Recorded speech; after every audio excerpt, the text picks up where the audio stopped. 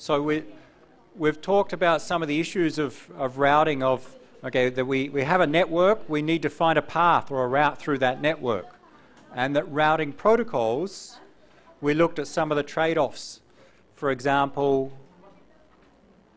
going back, we discussed some of these issues that of the metrics or the performance criteria, how to choose the best path, who chooses and when, and some of the trade-offs of the more information that you have about the network and the more often that information is updated, the more chance you'll choose the best path. And we looked at some cases where we can have no information versus having information about the entire network. And we can update on a continu continuous or periodic basis or only when major changes happen. And that trade-offs we need to make when we select a routing, routing protocol. How much information to collect and how often to update. Let's look at routing tables. And to do so, we'll use this example. This is a slightly different one that we, we displayed last week as an example network, but you may want to write it down if you haven't done it from last week. And here, in this network, the link costs written next to the links are the same in both directions. So to send from 5 to 3, the cost is 5, and to send from 3 to 5, the cost is also 5. It doesn't have to be, but in this case, the link costs are the same in both directions. Find, find the least cost paths from node 1 to every other node. Okay, just write quickly the notes of from node 1 to node 2, what's the least cost path? What is the path and what is the cost? And then do it from node 1 to node 3, node 1 and I think you'll get them in a, in a minute or two. Node 1 to every other node, least cost paths.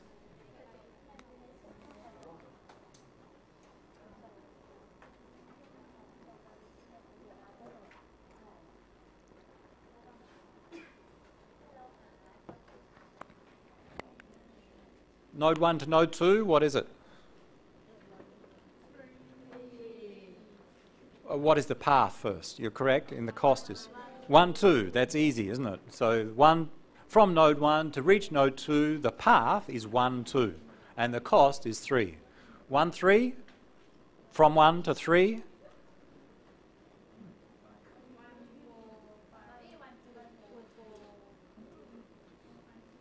Right, it's not as obvious, of course, in this case, because 3 is not our direct neighbour. 2 was the direct neighbour of 1, and it was easier to, to see that this way gives 3, this way is 2 plus 5. We will never get less than 7 if we go by this direction. But to 3, 1, 2, 4, 3 has a cost of 6. I think that's the least cost path. Let's just write down and you can have a look for the other remaining nodes, the destinations. We'll list those least cost paths.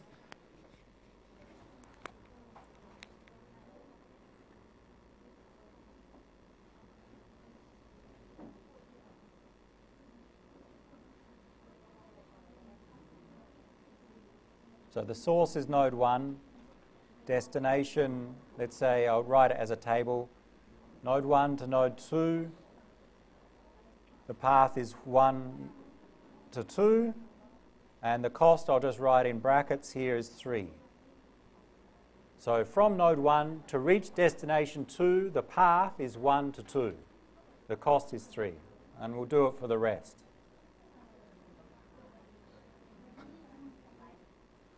Node 1 to 3 is 1, 2, 4, 3.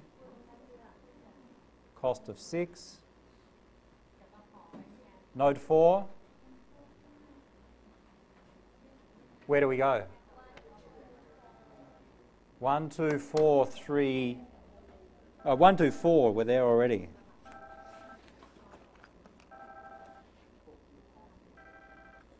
Turn that off. One, two, four. And that's an easy one. Remember last week we tried to explain this point that if we have a path which is a least cost path, 1, 2, 4, 3, then the subpaths are also least cost paths. So if we know 1, 2, 4, 3, then it must be true that a path from 1 to 4 is 1, 2, 4. That's also a least cost path. If it wasn't, then this one would not be a least cost path. But we can see it easy in the network in this case. 1, 2, 4 has a cost of, what is it, 5? And the remaining ones.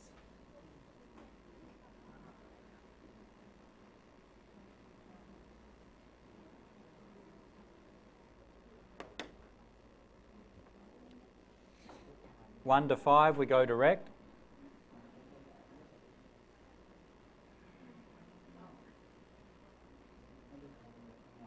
Six and seven.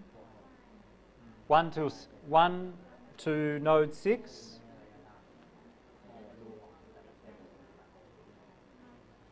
Two, four, three, six is the least cost path. And to seven, least cost path.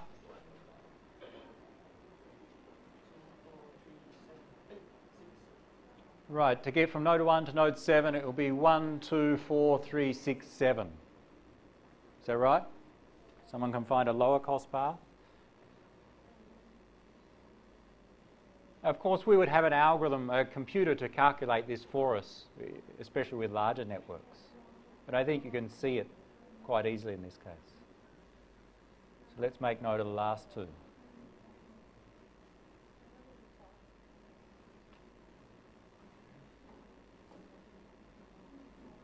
And can someone tell me the costs?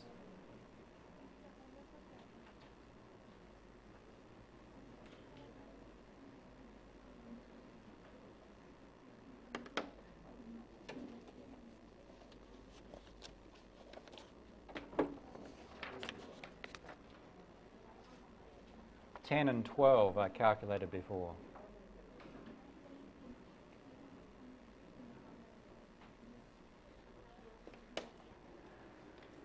So these are from node 1. If node 1 has data to send to any other node in the network, we can find the least cost paths. Any questions about how to do that? Okay, that's the easy part. Now, every other node does the same thing. So we could do it from, say, node 4 to every other node, and node 7 to every other node. Find the least cost paths for every node. Think of every source node to every possible destination. Once we can calculate them, then that's our routing information and we use that to send data.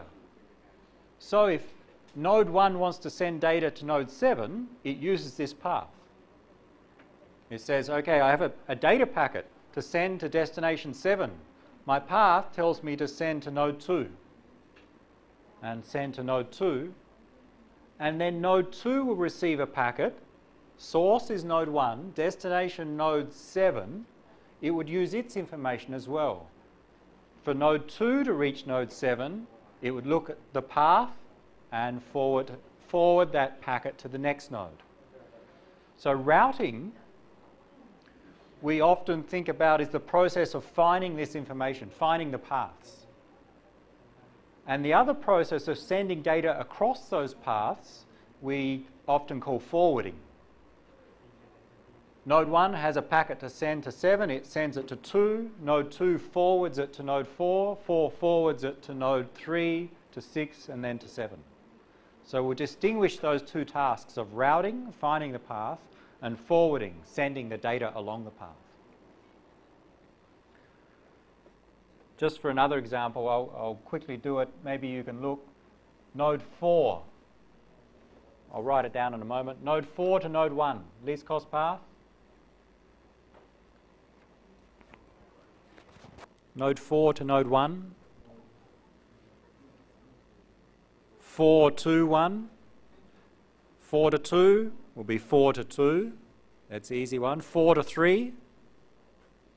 That one's obvious. 4 direct to 3. 4 to 5, least cost path. 4, 3, 5. has a cost of 6. If we go the other way, we get a cost of 7. So 4, 3, 5. 4 to 6.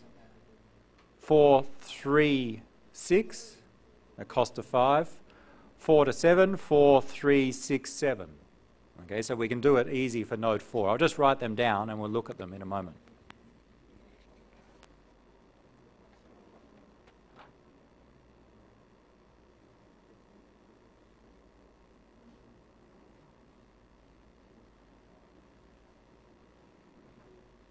And we can do it for all the other nodes as well, but we won't.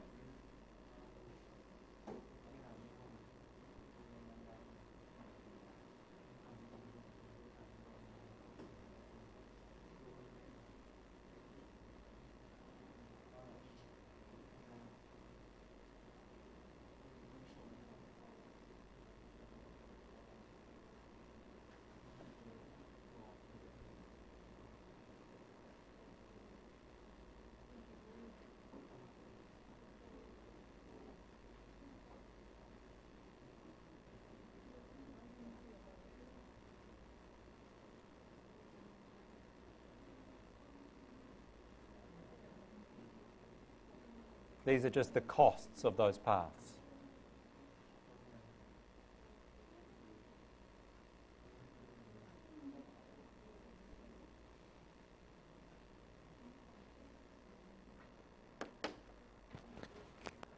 So we do it actually for all the nodes in the network. And it's a, the role of a, normally a routing protocol would do that for us. It could be done manually. For example, you go and build this network across Bangkok. You, you deploy these seven nodes across the city with the links between them. You know the costs. You could easily calculate the least cost paths when you build the network and program it into those nodes to use those paths. So a, a manual approach would be to select or to calculate the least cost paths at the start and then program or tell those nodes whenever you have a packet, use this particular path. Now, that approach would not be so convenient if things change. We said last week, as the links change, as the nodes change, new links arrive, links fail, nodes fail, or the costs change, then the paths may change. So, really, what a routing protocol does is on a regular basis distributes information between the nodes so that they can update their least cost paths. As the conditions change, they update and find the new least cost path and do that on a regular basis. Now, assuming we can calculate the least cost path, what a node does, actually before I explain, just one further example of the subpaths Node 1 to 7, the path 1, 2, 4, 3, 6, 7. Node 4 to 7, 4, 3, 6, 7. You see it's a subpath of this one, which is what we'd expect. If we know that least cost path is 1, 2, 4, 3, 6, 7, then it must be true that from 4 to 7, a least cost path is 4, 3, 6, 7. So that holds in this case, as it always will. So let's just say every node can calculate its least cost path. They store them on the nodes. So the node is just a computer. It stores this path information. When we have a packet to send, we look at the destination address. If the destination is node 5, node 4 has a packet to send to destination 5, then it looks here, okay, to reach 5, I send to the next node 3 and would send that packet to node 3.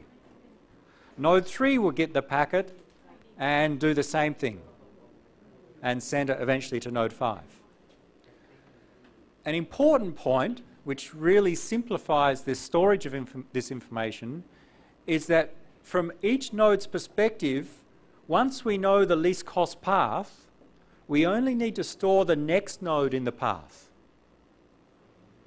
Node 4 only needs to know to reach destination 1, the next node is 2. Once it's calculated the least cost paths, the thing that we store in these, these nodes is just the next node in that path. If node 4 wants to reach node 7, then the next node in the path is 3. And similar, node 3 would have an entry. If node 3 wants to reach node 7, the next node in the path will be which node? Node 3 has an entry that says to reach node 7, the next node is, is 6. Because we know that the path, the least cost path from 3 to 7 must be 3, 6, 7. So each node only needs to store the next node. We don't have to store the entire path. And that's very useful in large networks when we a, a have long paths and many entries and we need to update on a regular basis, storing just the next node makes things much simpler. So I'll just write down a table that, that stores that information in summary form.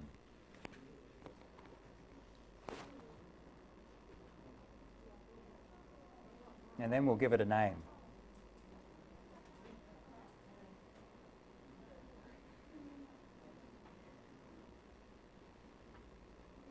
Actually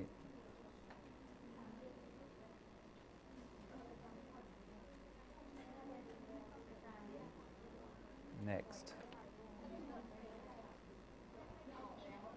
From node 1's perspective,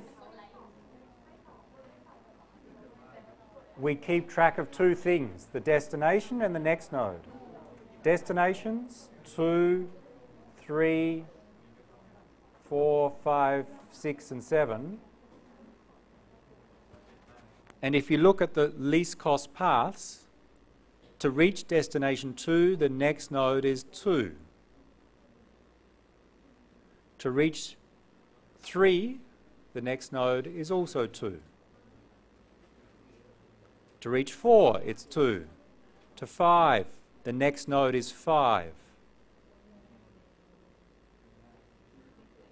To reach 6, 2 and 7 is also 2.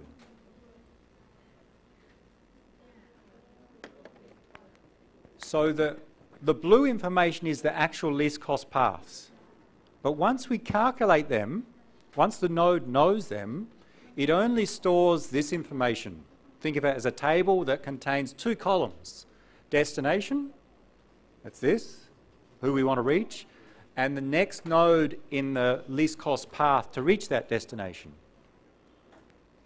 We can store other information. We could optionally store the cost of the path. We do in practice sometimes.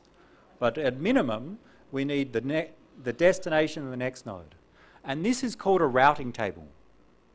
And it's common in the internet. A routing table stores this information. And very important in the operation of the internet. And for node 4, you'll see similar, we can have a routing table.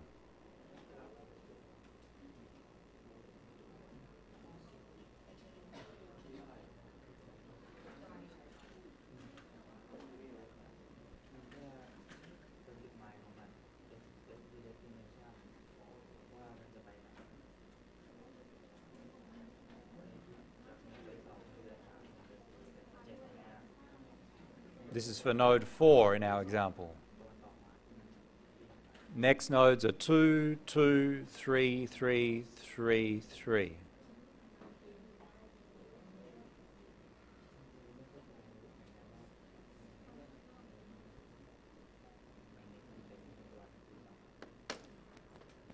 And because each, each node calculates least cost paths, we can store just the next node because we know that that next node will have the least cost path to the destination. So even though 4 stores the path, to reach 7, I send a 3. I don't care how 3 gets it to 7 as long as they use the least cost path. So what node 4 does is sends the data to 3 and then 3 takes on the role. Okay, I have data to 7. I need to reach I need to send to the next node, which would be 6 from node 3's perspective. 6 will receive the packet. To reach destination, will know to send to node 7. So it greatly simplifies the storage and the maintenance of this routing information. And a routing table contains the destination and the next node in the path to reach that destination. Any questions on routing tables so far?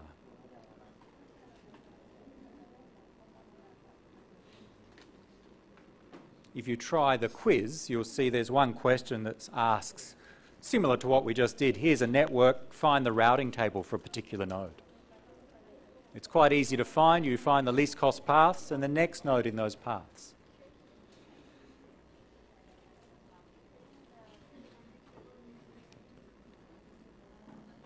Back to our lecture notes. This was our other example network in the lecture notes, where we had six nodes. If you find all the least cost paths there, and then find the routing tables, this is what you end up with. So if you find the least cost paths, so this is for a different example, but the answers are given for you already.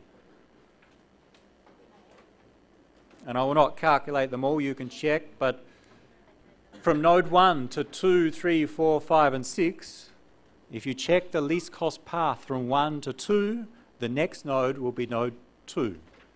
From 1 to 3, the next node is 4. 1 to 4, the next node is 4, 1 to 5, 4, and 1 to 6, 4. Okay, so that's the routing table for node 1 to reach any other node in that other example network. And similar, it's, it's completed for the other nodes. From node 6 to reach any of the other five nodes, it will always send to node 5. It just turns out in this example, node 5 is always the, the, path, the node along the least cost path. So this table of destina destination next node can be stored on each node separately, or if you jump back one slide, we could combine it and have a special server store all that information. So in a centralized form. And this is the exact same data but just represented in one combined table. From node 1 to reach 2, 3, 4, 5 and 6, the next nodes are 2, 4, 4, 4, 4. This column is the same as the first table for node 1, 2, 4, 4, 4, 4 just check that the second columns in all of those six tables uh, create the six columns in this one combined table. Just a different way to store it. This approach is used if we have a central server that keeps track of the routes and tells everyone which routes to take. Whereas the one table per node is used when we have a distributed approach where each node does their routing separately. This approach is much more common in larger networks.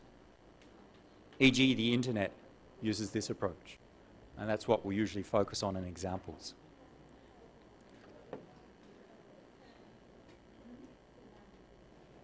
Any questions on routing tables before we talk about fixed and adaptive routing? Everyone can create a routing table now? Easy. One of the simpler concepts, but one of the most important concepts in the internet operation.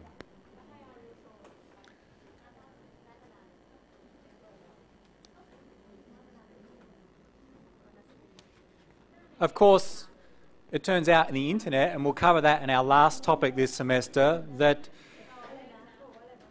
both your computer and nodes in the network have their own routing table. So my laptop has a routing table. And to view the routing table, I'll just type route.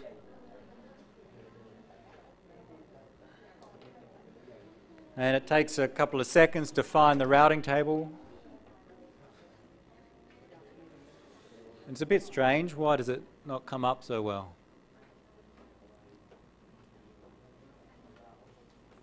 You see now? Okay, so this is the routing table of my computer, and it's very, very simple in that there are only two, two rows in the table.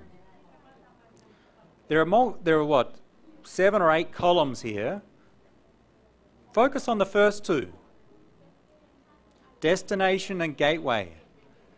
Destination is who I want to reach. The gateway is the next node. It's just a different name that's been historically used in the, in the internet. So really, the other information is just supporting information. This says is destination, and this means next node. There are two rows, and some of the information we'll recognize as an IP address. I think some of you will know that this is an IP address. So instead of using numbers or letters to identify nodes, like node 1, node 2, in the internet we use IP addresses. But we'll see that in the, in the last topic. We'll see IP addresses and, and this routing table again. But just one example of a routing table. We can simplify routing tables. And this is an example where, actually, we'll come back to our case, then it may make more sense. Look at the routing table for node 1. Let's say in the internet, when you have thousands of nodes, tens of thousands of nodes, then using this approach, you need one row for every destination. How could you simplify the routing table for node 1. What's common about it? Is there some pattern or something repeating in the routing table? What is it? In many cases, the next node is 2. Okay, it's either 2 or 5. For one case, it's 5, and for the rest, it's 2. We could write that in some simpler form. I'll just move down.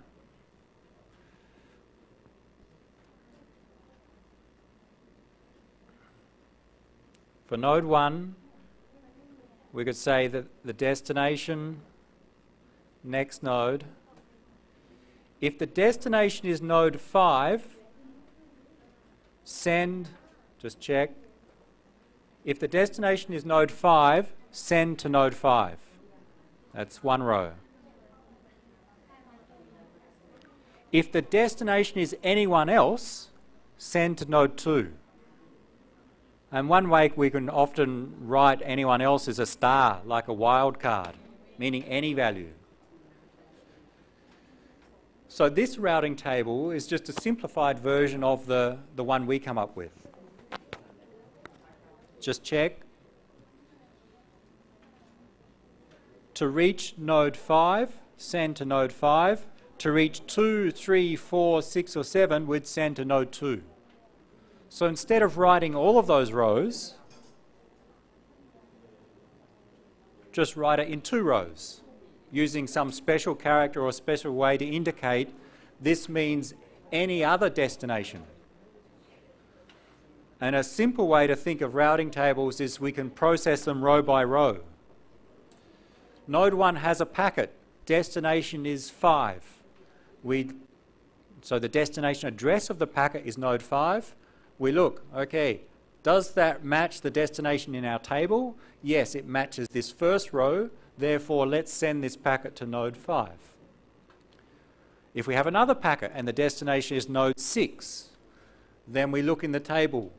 Does destination 6 match the first row destination? No. Move on to the second row. Does destination 6 match star? Where we think of star as meaning any value then yes, it is any value. Therefore, we send this packet to node 2. That's the way we can interpret our simple routing tables. Read them row by row, where star is any value. That's the concept, at least.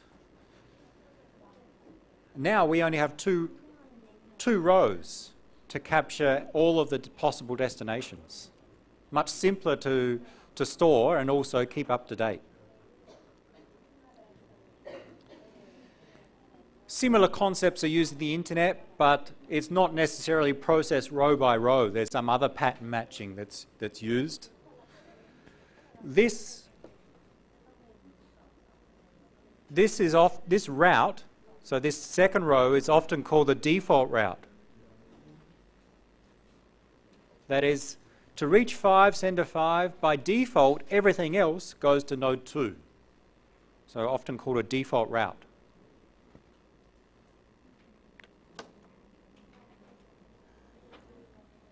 And it's in fact, in my computer, the first row in that example. It says for the default, by default, send to node 101098.1. So that's the default route in the first row. The second row is slightly different. It says if you want to reach destination 101096.0, send to star. That actually means in this specific piece of software, it means don't send to any other node. Send to them directly. That will make sense after we cover the next topic on LANs. Okay, it's specific to how the internet works, that second row. For now, we're just dealing in the, in the concept of we have routing tables which identify the destination and next node. We can simplify routing tables by using some form of wildcard to represent uh, multiple values. Any questions on routing tables so far?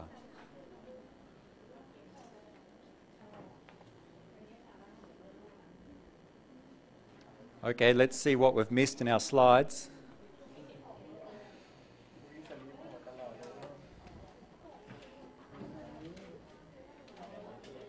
This just explains routing tables. I think it's been said already.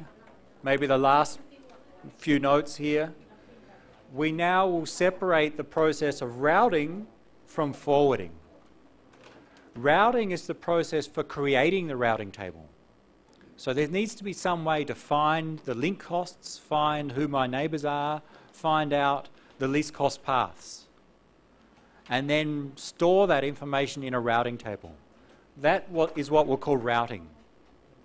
So a routing protocol will usually do that for us. We don't have to manually do it in, in large networks. The result is a routing table. Forwarding is the process of using that routing table when we have data to send to determine who to send it to. So routing is finding the and creating the routing table. Forwarding is once I have a packet to send to node 7 is to look in the routing table to determine who to send it to next to reach node 7. And those processes can be kept separate. And it's what happens often in the internet is that a routing protocol does the first part and just continually updates the routing table just updates it as it finds new paths, it, it updates the routing table. But independently, as we're sending data, I want to download a file or transmit a file, then all I, my application does to send data is read the routing table. Read the current value, determine who to send it to next. And that makes the sending very simple to keep those processes separate. A routing table may include a path cost, not necessarily, and it may include other information. But from the simplest point of view, it's just destination, next node.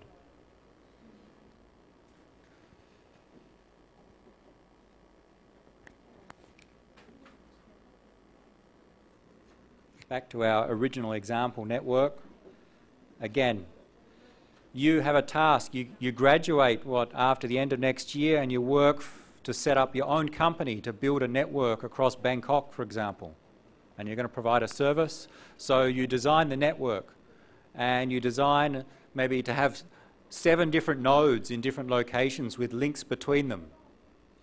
And you know the characteristics of those links, the data rates, the delays, the cost of using them.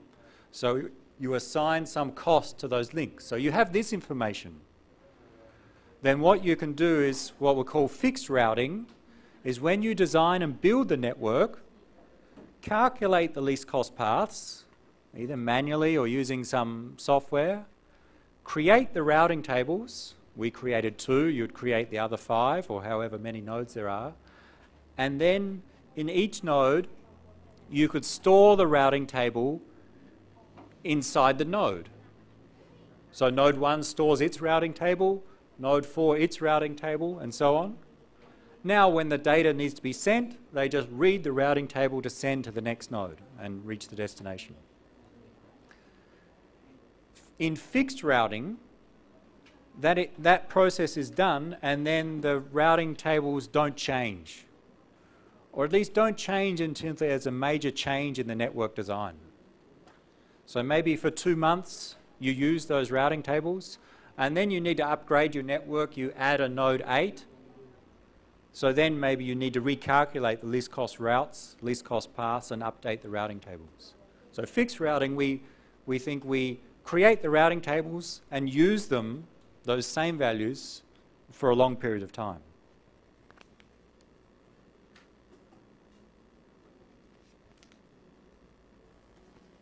And that's the slide I think we've got here. Fixed routing is that we create a permanent route from each source to each destination pair and store it in routing tables. There are different ways to calculate the least cost paths, Dijkstra and others. We can think the route is fixed at least for a long period of time. It doesn't change every second, it doesn't change every day. Maybe it would change if we make a large change to the network. We add a new node. Maybe after six months we upgrade, add a new node, we recalculate. But if the, if the cost of each link changes while we're using the network, then with fixed routing, the routes will not change. That's the problem. That is, we've found the least cost paths, and then while we're using the network, maybe the cost of the link from node 1 to 2, it was previously 3, maybe it changes to 10. That is, the cost goes up. Because the cost may reflect, for example, the delay. And because we're sending a lot of data across that, that link, the delay goes up, so the cost goes up. Now, I think you recognize if the cost of this link goes up to 10, the least cost paths have, uh, should be changed. From node 1 to node 2 to node uh, 3, 4, and so on should not go via node 2, should go via node 5 in this case. With fixed routing, we normally don't consider this. With fixed routing, doesn't matter what the costs of the links are after we start to use them, we just use them once to calculate the fixed routes and then continue to use those routes. So it's a static uh, approach. Not very good because as the network changes, we start to use suboptimal paths.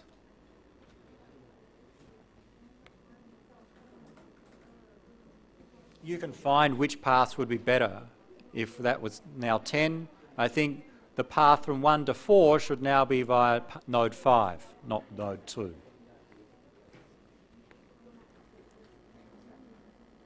So fixed routing is very simple. We build the network, we assign the routes, and then the routing process is finished until maybe a few months later when we upgrade the network. But it's not very flexible. We build the network, we assign the routes, but when the network is being used, it may turn out that those routes that we assigned are no longer optimal. But with fixed routing, it doesn't matter. It keeps using those suboptimal paths. That's the problem. Which suggests that we should update on a more regular basis. And that's, if we jump forward, we'll come back to flooding later adaptive routing. Instead of just assigning the routes at the network design and, and install stage, have some automatic way that the network learns about the current costs and adapts the routes. It changes and updates the, the least cost paths over time. And that's what's used in most networks today, including the internet, because things change on a regular basis the costs change, the links change. So we need some routing protocol to update the routes for us. And that's generally called adaptive routing. And it's used in most packet switching networks today. But still, it uses routing tables and that there's now some automatic way to gather the link costs, calculate the least cost routes, populate the routing tables with data, and then when we want to send data, we just use the routing tables. that's about all we want to say about fixed and, and adaptive routing. The, the main difference is, of course, adaptive routing can adapt to changes much faster. But it's more complex. And we need some protocol to automatically calculate the least cost paths and especially collect the links, the link status information. There are many such protocols. I'm not going to go into any more detail of those protocols. You'll see them in a course next semester on computer networks and protocol architectures. You'll see you'll see protocols mentioned like these ones, acronyms down the bottom. OSPF, BGP, IGRP, and so on. These are some examples of routing protocols which have the task of finding information about the, the network topology, finding the link costs, who has which neighbours, calculating the least cost paths, and putting that information inside the routing tables. That's what the, these routing protocols do. They do it in different, different approaches, so there are many different ones. They have different advantages and disadvantages. Some use Dijkstra, some use Bellman Ford, some collect different amounts of information. Some use different metrics. So there are different trade-offs involved there. So there are many different routing protocols. We're not going to go into any details, any more details about these routing protocols. So understand the concept of routing tables, how they're used, and some of the things we covered last week about that we need to collect the information to learn about the network topology. There's, I think, three slides of an example which we'll not cover. So routing is rather simple. If we can find the least cost paths, we just create a routing table and then use it. Any questions on routing?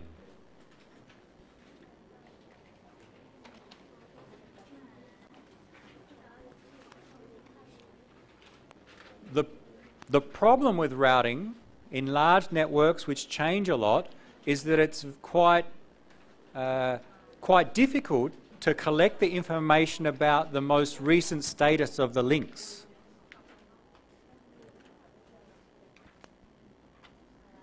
Back to our example, when the link status or the link cost from node 1 to node 2 changed from 3 to 10, there need to be some way for nodes 3, 7, 6, and 4, who are not direct neighbours of node 1 and 2, or 4 and 6 are, uh, for these other nodes, there needs to be some way for them to learn that this link cost has changed.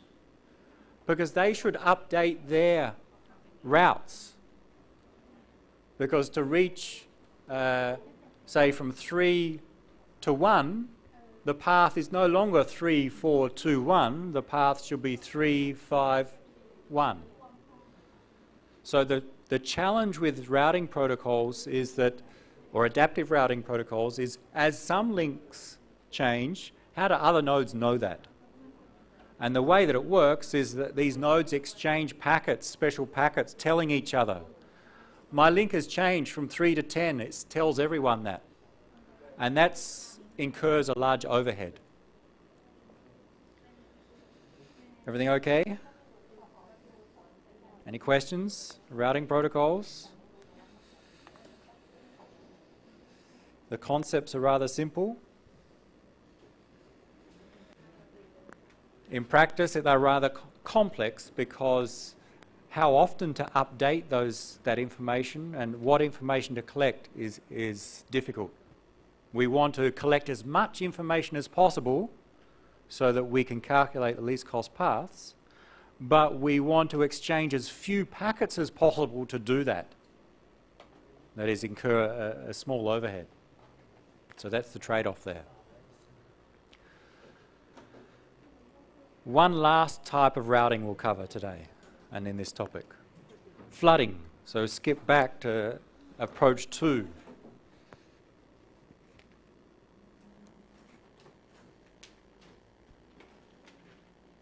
And so we'll do flooding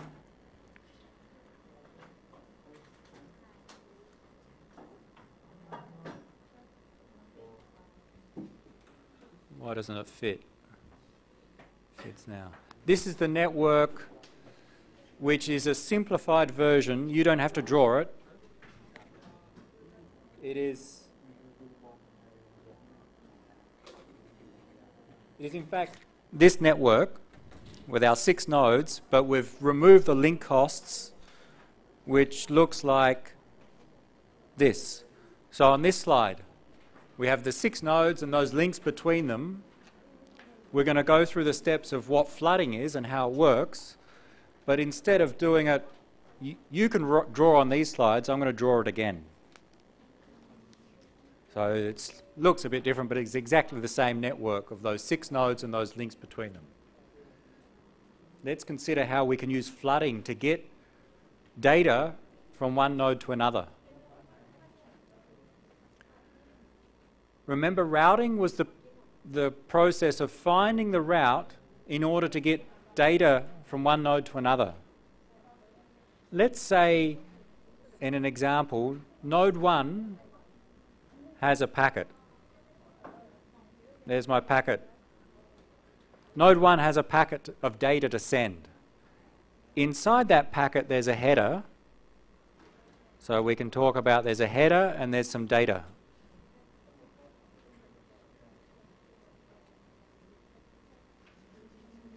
Header. Inside the header, there are different pieces of information. One of them, let's say, is the source address. It's coming from node 1. And the destination. Let's say, for example, we want to send some data to node 6. So this is the data packet node 1 has to send. It contains some data, whatever it is. The header includes the source address. It's from node 1, destination node 2, node 6. Where does it send? where does, what does node 1 do now to send this data? If we used adaptive routing, for example, or even fixed routing, where would it, what would it do? If we were using adaptive or fixed routing, doesn't matter, what would node 1 do now to send this data? It would, it would look in its routing table and find, okay, to reach destination 6, the next node is whatever the routing table says. maybe it's 2. Okay, so it would look in the routing table to determine where to send this data packet. And let's say it was 2, it would send it to 2 and 2 would do the same. How did the routing table get created? Well, there's some process that either manually or, or some automatic technique to create the routing table, like we just did. Let's try a different approach. And the approach of flooding is that we send to everyone. Instead of send across a specific route through the network, send a copy of this packet to everyone. And we start by node 1, if it wants to send to everyone, it has that data packet and it sends to its three neighbours.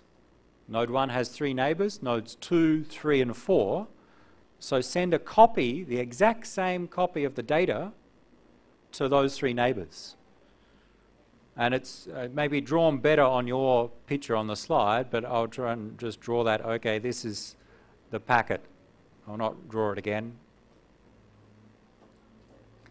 Thinking this packet, source 1, destination 6, is sent to node 4.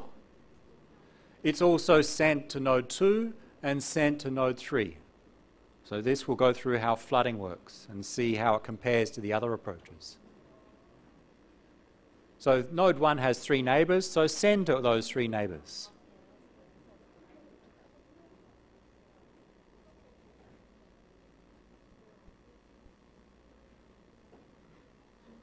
What happens next?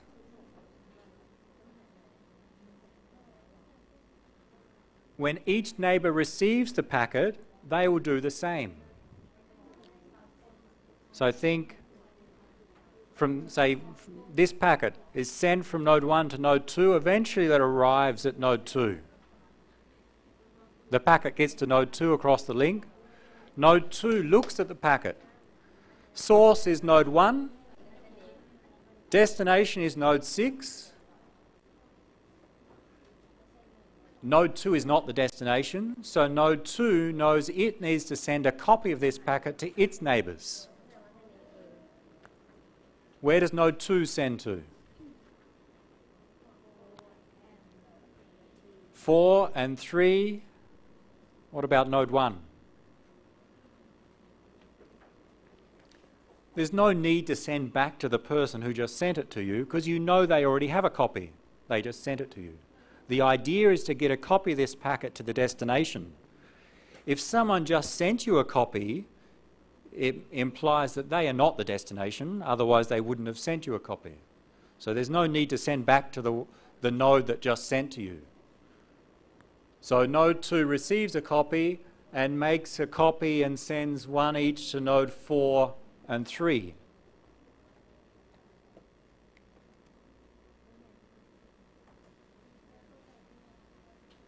It's going to send a copy again. Source is 1, destination is 6, out to its neighbours except the one that it came from.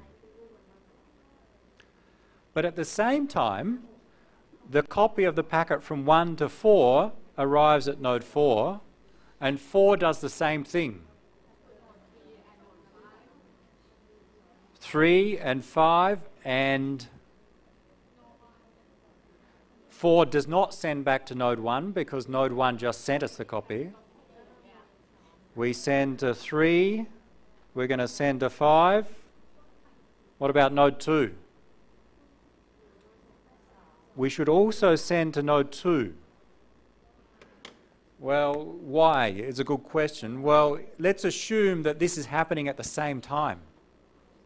That is, 2 received the packet, and at the same time, a different computer node 4 received the packet. 4 doesn't know that 2 received it. All 4 knows is that I've received a packet, source 1, destination 6. It knows who its neighbours are, so the rules are, to keep things simple, send to all of your neighbours except who just sent it to you. So think at the same time instant, 4 sends a, starts sending a copy to 2 across this link, and similar, 2 is sending a copy of that exact same packet to 4, but they don't know each other is sending a copy.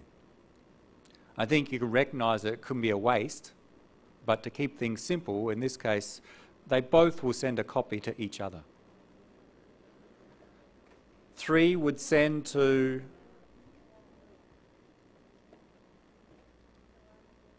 its neighbours. It would send to 2 four, five, and six. So think those three steps of two sending to its neighbours, four sending to its neighbours, and three sending to its neighbours all happened at the same time. Now, in real networks, it may not happen like that. Maybe the packet arrived at two before four got it, and two sent to four before four got the one from one, but that's more complex think of it just in steps. One sends to its neighbours, its neighbours send to their neighbours, and so on. What happens next?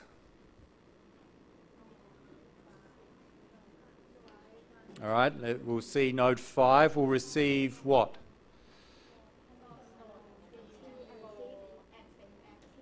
Okay, let's look at node 5 then. Of course, there's other things to occur. 5 is going to receive a copy from node 4 and from node 3. What, when 5 receives a copy from node 4, what does it do? sends to its neighbours. So think of the one that's received from node 4, and we'll, we'll try different approaches. The first simple approach, 5 receives from node 4, 5 sends to its neighbours. 3 and 6. But at the same time, 5 receives the packet from node 3. And then what does it do? It sends to its neighbours. 4 and 6. We can think it sends two copies to 6. Okay, so 5 received two copies of the packet. Therefore, follow the rules. When you receive a packet, send to your neighbours except who sent it to you.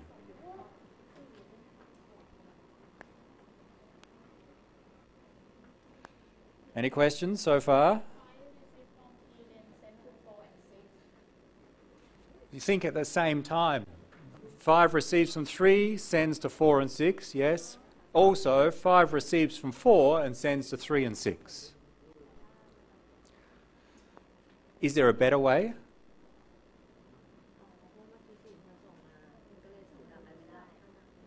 Should 5 send two copies of that same packet to 6? I mean, it did in this case. It would be better if it didn't. Okay, there's only need for one copy of the packet at 6. The problem is, how does node 5 know that the packet that came from 3 is the same as the packet that came from 4 but just a copy? So 5 receives a packet, source is 1, destination is 6. Then it receives another packet, source 1, destination 6. Two options. One, they are the same, it's a copy. But another option is that it's two different pieces of data. Maybe node 1 is sending many packets to node 6. 5 doesn't know whether the packet received from 3 is in fact a copy of the packet it received from 4 or if it's another piece of data. How could it distinguish? How could 5 know? We've seen the concept before. How could 5 know that these two packets it receives are the same? In the header, we could include what? A sequence number. So if node 1 included also a sequence number here, and we may try it in a moment, but if there was a sequence number here, let's say sequence number 1, then because everyone sends an exact copy, 5 receives a packet, sequence number 1, from 1 to 6. 5 receives another packet, sequence number 1, from 5 from node 1 to node 6. 5 knows that that second one is exactly the same as the first one and we can ignore it. So if we include sequence numbers inside the header, it can be even better than this in that if we receive a packet with which we've already received before, do not send to our neighbours again.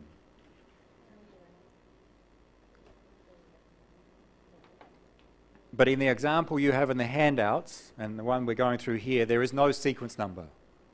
Okay, it's, it's very, very simple. In practice, we'll usually include a sequence number. Follow through what else happens. Uh, 5 received from 3 and 4. What else? 3 receives from 2 and 4, I think.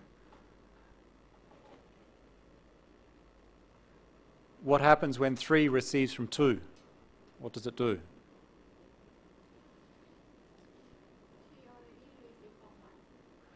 So 2 send a packet to 3. 3 receives that. Who does 3 send that packet to?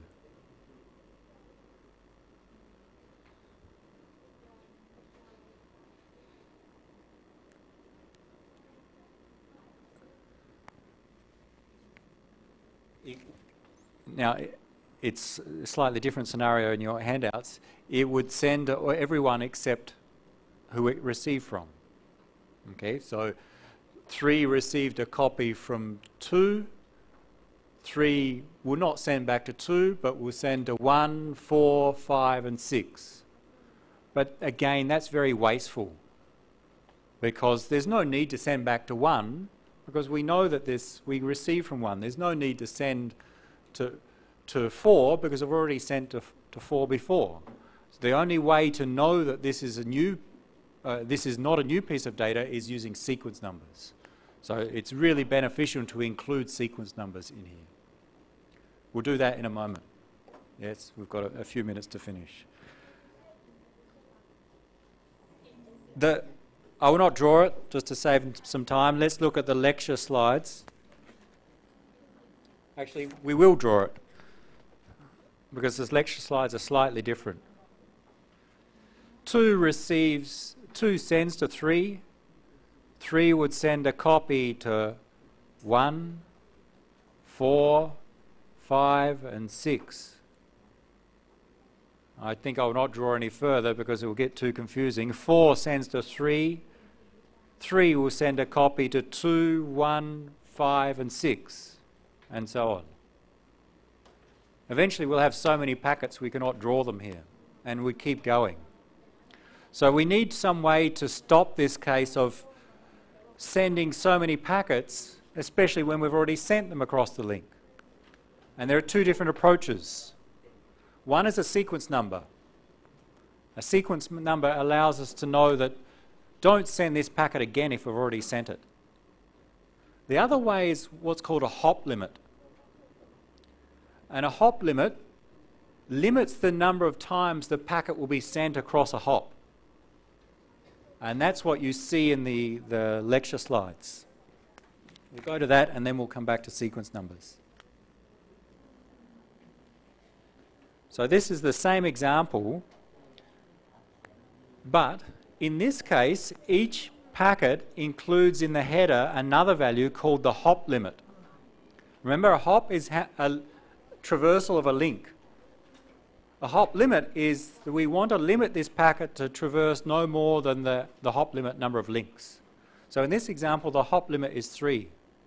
This is the one we just worked through. And it's shown in the picture as, as the number inside the packet. That's the value of the current hop limit. 1 sends a packet to its neighbours. That's what we did, to 2, 3 and 4.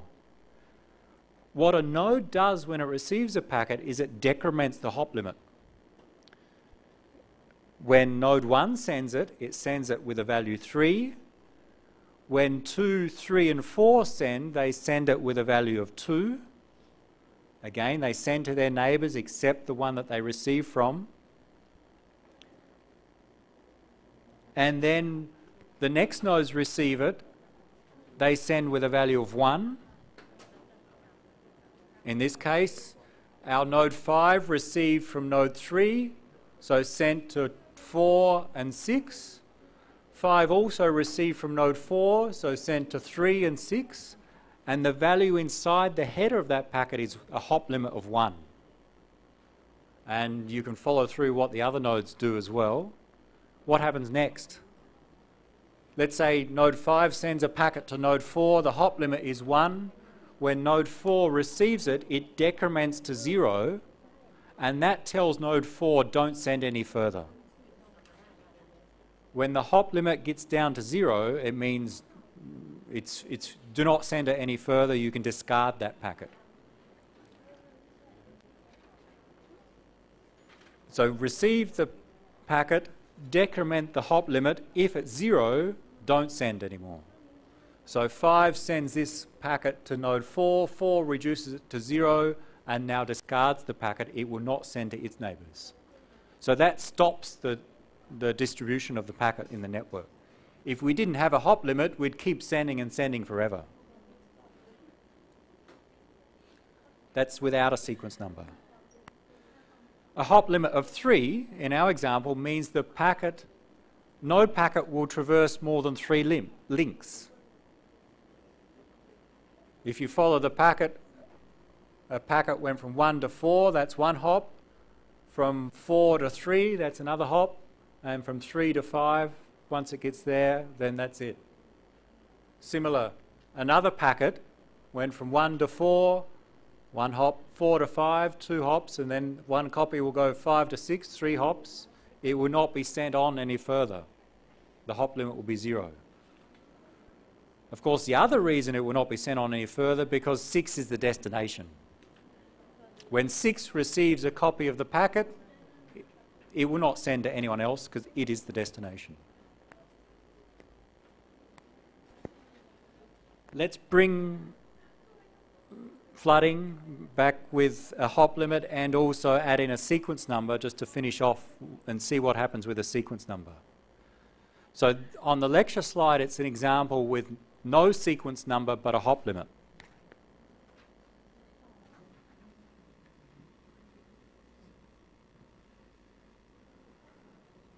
Let's go back and add in that information.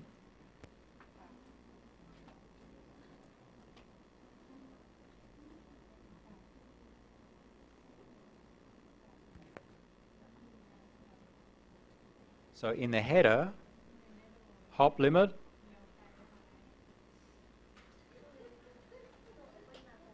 and also a sequence number.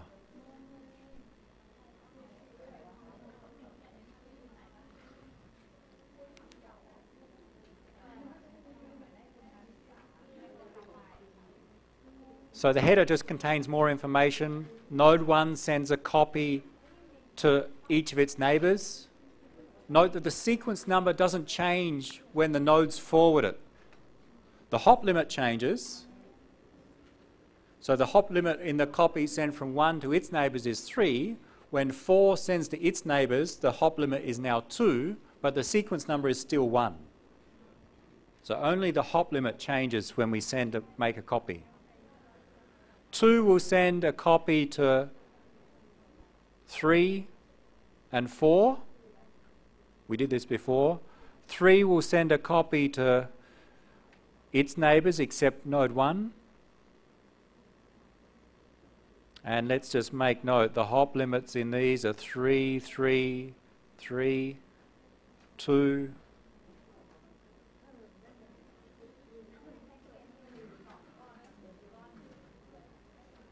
and 4 will send to its neighbours.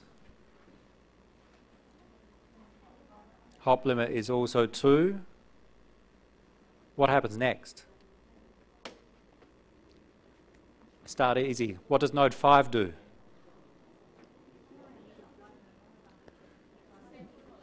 Five, node 5 is going to receive two packets. Okay. How many packets is it going to send and to who? It receives two packets. What does it do then? Node 5. Let's say it receives the packet from node 4 first. What does it do? It sends to 6. Okay, it needs to send to its neighbors. So I, if I receive from node 4 first, so there's a difference in when I receive them, then I can send a copy to node 6, the hop limit would be 1, and also send to node 3. If I haven't yet received it from node 3, I should send to node 3. Then I receive a copy from node 3. What do I do now?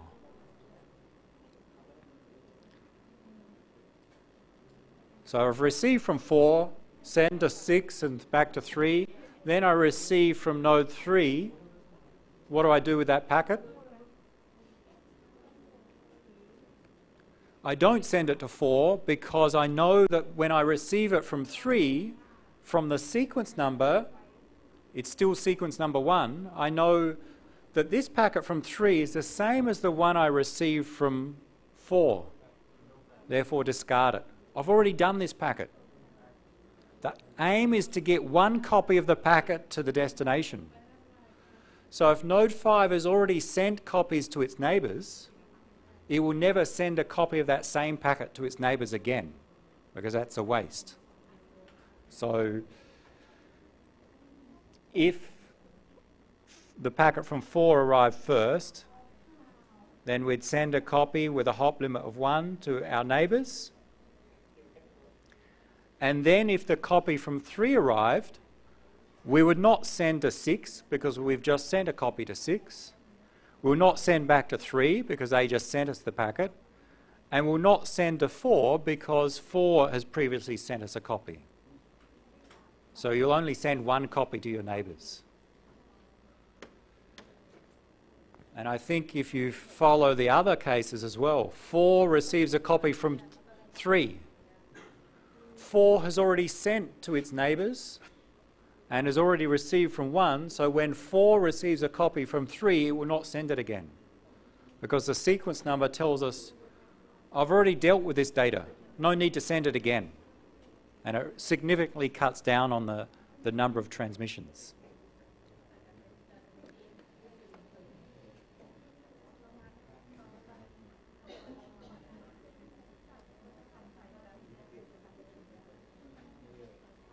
Node 6 receives the packet from node 3 and we're done. Node 6 has got the data. That was our intention. Get the data from node 1 to node 6. And it works. Turns out that node 6 also receives a copy from node 5, but it can ignore that because of the sequence number tells us it's just the same as the previous one.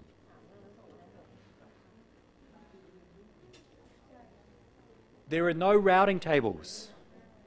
There's no learning of the network. It's very, very simple. If we include a hop limit and sequence numbers, send to your neighbours, but no need to send back to someone who you know already has a copy. So node 1 sends to its neighbours, its neighbours send to their neighbours, with the exception, don't send it back to who sent it to you previously, and don't send repeats of the same data. The end result, in this case, is the destination receives the data. So this is an alternative to routing to send to everyone.